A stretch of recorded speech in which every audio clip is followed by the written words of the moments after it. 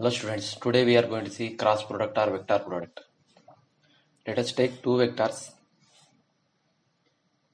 A is a one vector and B is one more vector. Its cross product becomes the magnitude of A multiplied with magnitude of B with an angle of sine theta and this total thing is multiplied with one vector an so why is so called cross product? Here we have a symbol that cross that's why it is called as cross product. And why why it is called as vector product? The resultant obtained becomes a vector because mod a mod b are magnitude.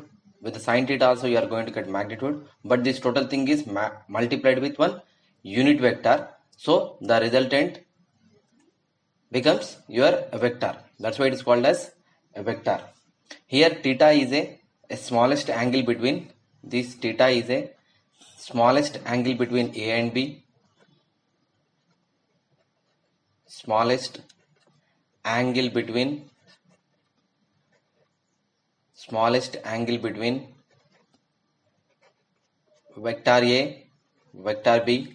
And this is a unit vector perpendicular to this is a unit vector this is perpendicular to vector a and vector b. For example if you consider we have considered a rectangular coordinate system. In rectangular coordinate system we have considered a x coordinate that is x this is your y. This is your x coordinate and this is y co y coordinate. If the rotation is is of like this. Then according to the right hand thumb rule according to the right hand thumb rule the thumb indicates your z direction. If the rotation is of like this in opposite direction the resultant axis becomes like this. That is your minus z. So if the rotation is of from x to y then the thumb indicates your z if the rotation is from y to z the thumb indicates your minus z. On this y we are having a unit vector ay on this x we are having a unit vector ax on this we are having a unit vector az here you are going to have minus az this is very important.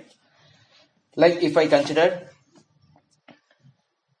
if i consider the cross product of ax multiplied with cross product of ay then the resultant becomes az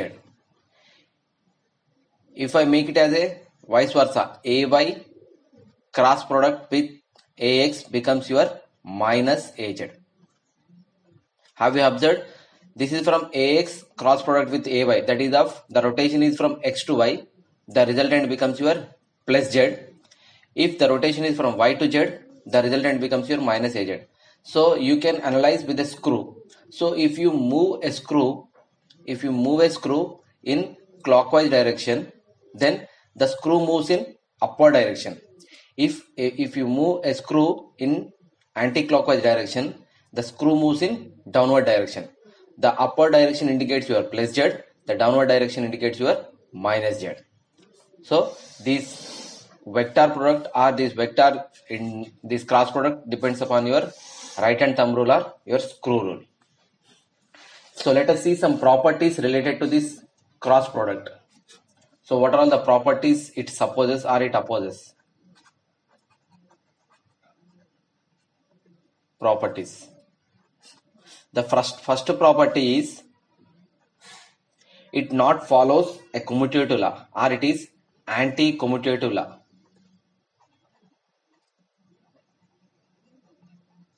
it is anti-commutative law. It is nothing but it does not follow commutative law. What is a commutative law? A cross b is equal to b cross a. Already we have seen. Like a cross b becomes your a cross b is nothing but rotation from a to b. It gives you minus of rotation from b to a. Next one is it is it does not follow associative law. It does not follow not an associative law.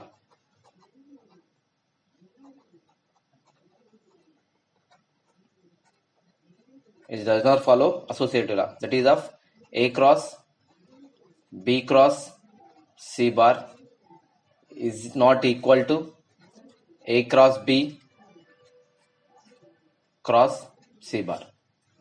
Next, it follows the scalar product. Like for example, if C is a scalar multiplied with A, C A bar cross product with B bar, it becomes C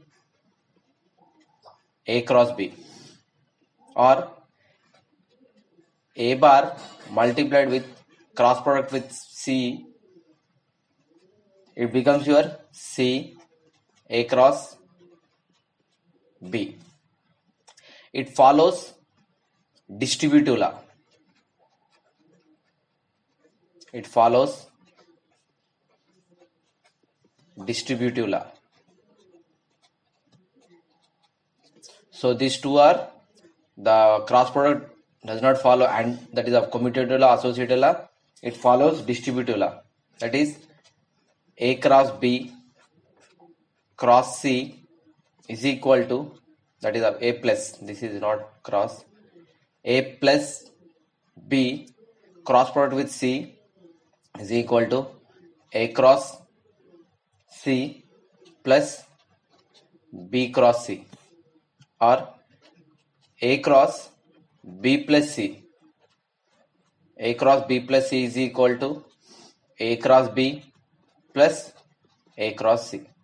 So these are the properties related to your vector product.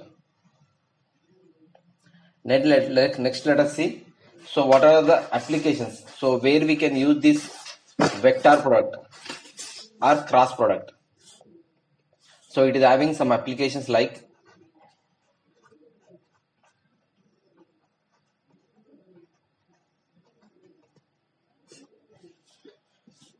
So we can find the angle between two vectors. The first application is we can find angle between two vectors. We can find angle between two vectors. So how? According to the cross product, according to the cross product, what is the equation? A cross B is equal to the magnitude of A multiplied with magnitude of B with an angle of sine theta and this total thing is multiplied with one vector. If I consider magnitude, if I consider consider magnitude of this cross product, then magnitude, its magnitude, then sine theta. What will be the magnitude of this unit vector? That is 1 multiplied with 1. So, so from this we can consider sine theta is equal to sine theta is equal to the magnitude of cross product by magnitude of A multiplied with magnitude of B.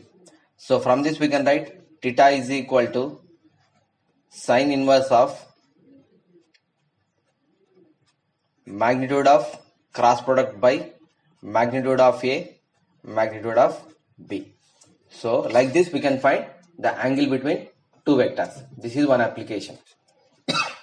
Next application is we can find the possible vector perpendicular to AB. We can find the possible vector possible vector perpendicular to A, B. It means that the possible vector is so from cross product we got mod A, mod B, sine theta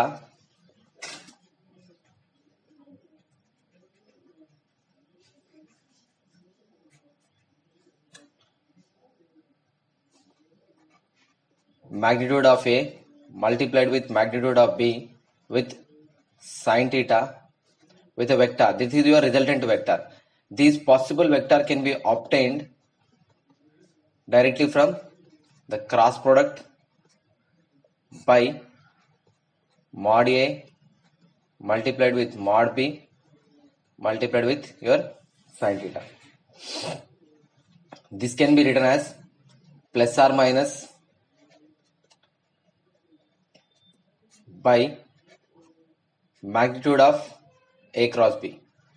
This total can be written as mod A mod B sine theta. So plus or minus we can write because it, it becomes a plus it be, if you consider the magnitude of your A cross B this totally becomes your magnitude because we are having so how we have written mod A multiplied with mod B sine theta this is nothing but your multiplied with 1 this totally it is your magnitude of your A cross B this may be a plus or minus that depends upon your rotation. This vector resultant vector may be a positive or negative.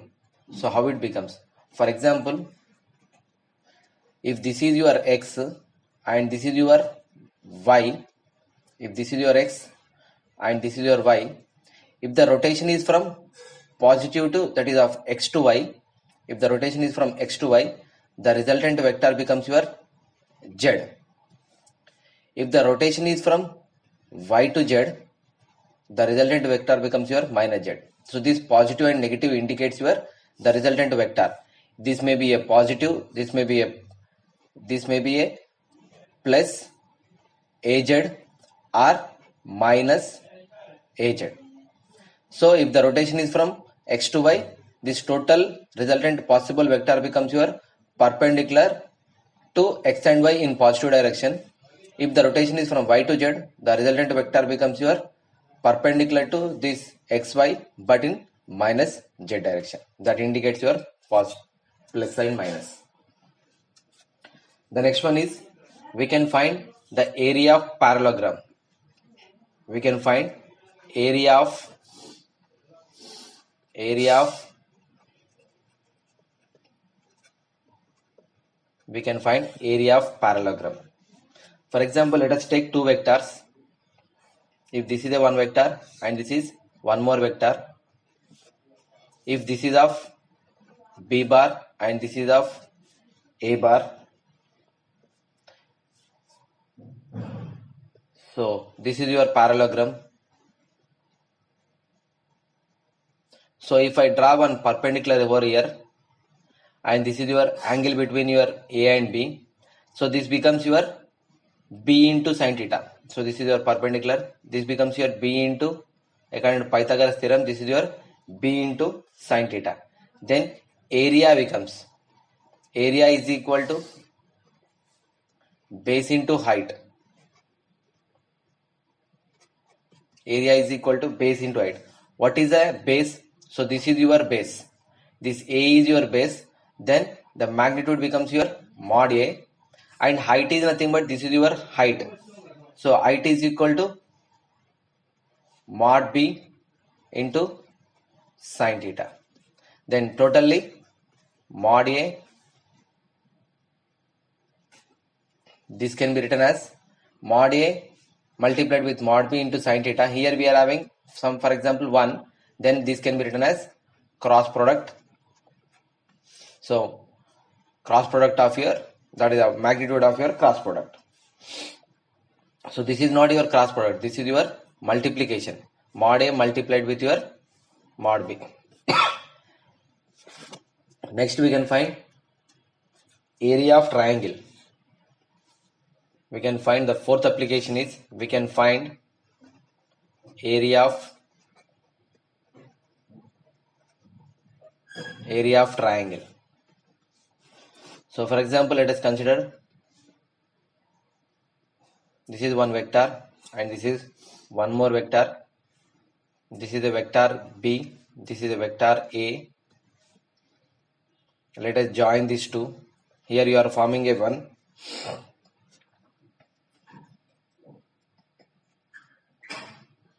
Here you are forming one triangle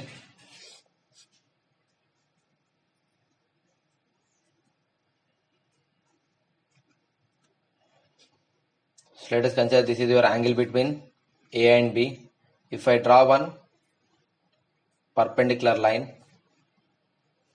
this becomes your B into sine theta. This is B into sine theta. Then area of triangle becomes area of triangle becomes half into base into height half into base into height. Then from this we can write half into what is the base? Base is nothing but your this is your base. The magnitude of base is mod a multiplied with mod a multiplied with and height is your mod b into sine theta. So this total can be replaced with half into magnitude of a cross b. Like this we are going to find area of triangle.